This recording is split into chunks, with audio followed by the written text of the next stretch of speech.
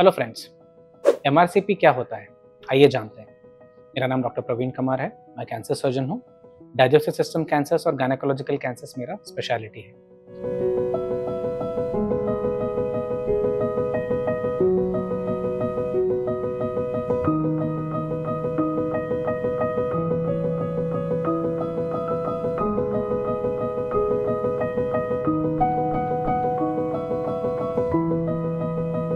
सो so, दोस्तों bile duct के cancer के डिस्कशन में हम एक और स्टेप आगे बढ़ते हैं और डिस्कशन करते हैं एमआरसीपी के बारे में। एमआरसीपी शॉर्ट फॉर्म है मैग्नेटिक रिजोनेंस कोलेंजियो पैंक्राटोग्राफी के लिए।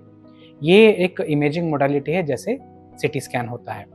तो हमने पहले भी डिस्कस किया है कि बाइल डक्ट के कैंसर में तीन ब्रॉड कैटेगरीज रहते हैं। बाइल कैंसर जो लिवर में पैदा होता है जिनको हम इंट्रापेटिक कोलेंजो कार्सिनोमा बोलते हैं जो बाइल डक के आखिरी हिस्से में पैदा होते हैं जिसको हम डिस्टल कोलेंजो कार्सिनोमा बोलते हैं।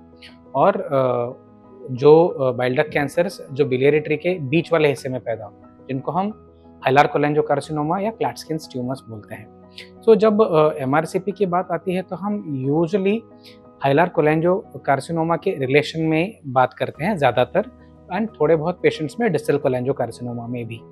तो आपने कई बार रिपोर्ट में देखा रहेगा कि जहाँ पे जब सोनोग्राफी हुआ है या सीटी स्कैन हुआ है तो वहाँ पे लिखा रहता है कि बेटर रहेगा कि एमआरसीपी करा लेना चाहिए। बट ये क्यों है? तो जैसे हमने पहले भी डिस्कशन किया है, जाना है कि कोई भी कैंसर का जो ट्रीटमेंट है, वो स्टेज के हिसाब से रहता है और जो स्टेज के लिए हम यूजली सी स्कैन या पेट स्कैन का इस्तेमाल करते हैं। जब हम बाइल्डक कैंसर के बारे में स्पेसिफिकली डिस्कशन करते हैं तो, तो हमें ये पता चलता है कि सी टी स्कैन से कि ये बॉडी के कोई दूसरे जगह पे फैला है या इर्द गिर्द के क्रिटिकल स्ट्रक्चर्स को पकड़ा है क्या? जैसे कि पोर्टल वेन है या हेपेटिक आर्टरी है या लिम्फ नोड्स है या दूसरे कोई सराउंडिंग स्ट्रक्चर्स में।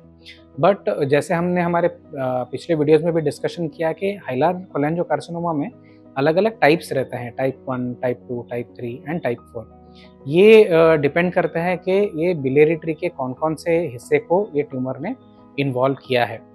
और ये कौन से टाइप है, ये जानने में एमआरसीपी सबसे ज़्यादा मददगार रहता है। रिसर्च में भी ये पाया गया है कि ये क्लासिफिकेशन जो कौन सा टाइप है ये जानने के लिए एमआरसीपी जो है, ये सबसे ज़्यादा सेंसिटिव रहता है। तो ये एमआरसीपी एक्चुअली करते कैसे हैं? एमआरसीपी जो है एमआरआई का ही एक हिस्सा है। और जैसे हमने डिस्कशन किया पहले भी कि सिटी स्कैन जो हम यूज़ करते हैं, इसमें हम रेडिएशन का इस्तेमाल करते हैं पेशेंट के बॉडी के अंदर झांकने के लिए और इमेजेस पैदा करने के लिए। बट एमआरआई में हम एक्चुअली मैग्नेटिक फील्ड्स का इस्तेमाल करते हैं। तो ये मैग्नेटिक फ़ील्ड में अलग अलग फेजेस रहते हैं। तो एक ऐसा फ़ेज़ रहता है जिसको हम टी टू फ़ेज़ बोलते हैं और ये फ़ेज़ में, जब इस फ़ेज़ में जब हम एमआरआई करते हैं तो जो भी बॉडी में स्लो मूविंग लिक्विड्स हैं, ये बहुत ही ब्राइट या वाइट कलर के नज़र आते हैं। तो क्योंकि बाइल जो है, जो पित्त जो है ना, जो फ्लो होता है तो ये बहुत ही स्लो पेस में फ्लो होता है। और जब यहाँ पे ब्लॉकेज हुआ है, अगर हाइलार कोलेंजो कार्सिनोमा या डिसल कोलेंजो कार्सिनोमा से ब्लॉकेज हुआ है तो इसका फ्लो और भी स्लो हो जाता है तो ये टी टू फ़ेज़ एमआरआई में बहुत ही उभर के नज़र आता है। तो इससे क्या होता है, बाकी जो सराउंडिंग स्ट्रक्चर से वो डार्क हो जाते हैं जो बिलेरी ट्री जो है, जहाँ पे बाइल स्लोली फ्लो हो रहा है, ये उभर के ब्राइट नज़र आता है। और इसके वजह से जहाँ पे ब्लॉकेज है, वो बहुत ही क्लियरली हमें दिखता है और ये फ़ेज़ को हम और ये पिक्चर को हम एमआरसीपी बोलते हैं। जैसे बिलेरी ट्री पता चलता है, ठीक उसी तरह पैंक्रियास का डक्ट भी इसमें अच्छे से पता चलता है। इसके लिए हम इसको एम आर सी पी जहाँ पे कोलेंजियो पैंक्राटोग्राफी जहाँ पे कोलेंजियो बाइल डक को रिप्रेजेंट करता है, पैंक्रियाटो जो है, वो पैंक्रियास के नलकी को रिप्रेजेंट करता है। तो इस तरह एम कौन से टाइप का ब्लॉकेज है, इसको डिटरमिन करने में हेल्प करता है। ठीक इसी तरह ई e और पीटीबीडी में भी सेम काइंड ऑफ़ इंफॉर्मेशन हमें मिल सकता है। और ये क्यों इम्पोर्टेंट है? सिर्फ़ कितना फैला है और कौन से मेजर स्ट्रक्चर को पकड़ा है उतना ही नहीं, कौन से टाइप का बाइल डक का कैंसर है, इसके ऊपर भी डिसीज़न लेना होता है कि कौन से टाइप का सर्जरी हमें करना है। तो इस तरह M R C P bile duct के कैंसर में एक बहुत ही इंपॉर्टेंट रोल प्ले करता है।